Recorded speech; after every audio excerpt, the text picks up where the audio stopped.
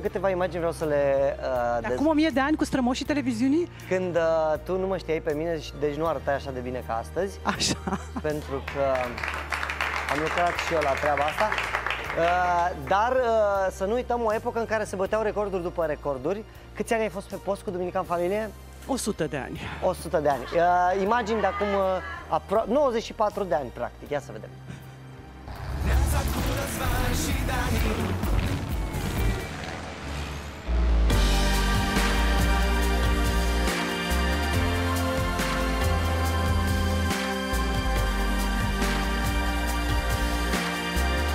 Mulți au dorit să vă revadă, să vă audă. Doamna Angela.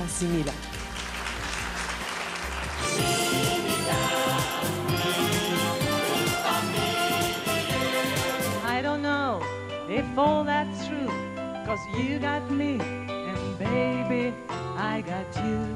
And when I'm sad, you're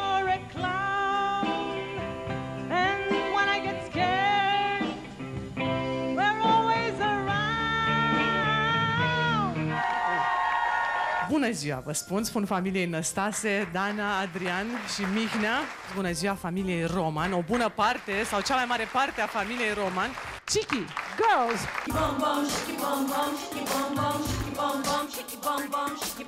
Monica și Leonard Doroftei!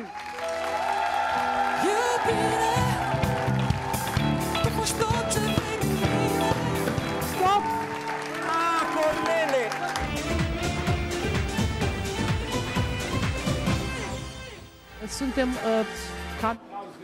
Doamnelor și domnilor, în acest uh, mic haos ne-am întors unde fiecare are de spus altceva. Răzvan caută poze, zici că e o babă la o mormântare. Dă poze de când trăia! Să, să știi că acum când ceva mai bine, dar... Nu, nu, nu. Asta este, asta este blestemul meu. Toți oamenii care au, au stat în platou ăsta lângă mine au crezut că și cântă. Nu. Nu, nu, eu n-am crezut, slavă Domnului, n-am crezut asta, dar aia a fost o, o treabă mișto așa.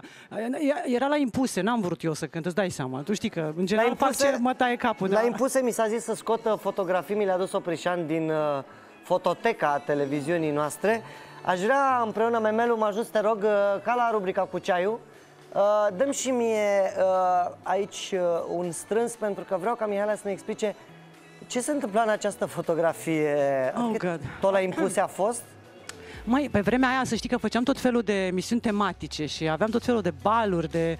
Uh, mă rog, aici cred că eram, nu știu, vreo ducesă, vreo A, habar deci nu n-am te ce. îmbrăcai tu în epoca aia așa. Nu, nu, erau diverse teme mă, în emisiunile noastre și exact cum aveți și voi, că și voi v-ați îmbrăcat slavă Domnului de-a lungul anilor în tot felul de, inclusiv în pijama. Dar uh, era un moment din ăsta. Era un moment. Bun, te rog să ne epocă. spui, există multe fotografii cu tine purtând ochelari și eu nu mi-aduc aminte să te fi văzut cu ochelari în afara casei. Tu îi purtai și în... uh, Și în uh, Ochelari de viața soare sau de vedere? Ochelari de vedere ai în foarte multe Nu, fotografii. ai să râzi, da, asta este o treabă cu care am păcălit. Încă nu port ochelari de vedere, încă pot să citesc. A, deci o ardeai intelectual, cum se zice acum. Nu, a- ai să râ- aveam o problemă și mai... uh, Toată viața am suferit de um, un soi de...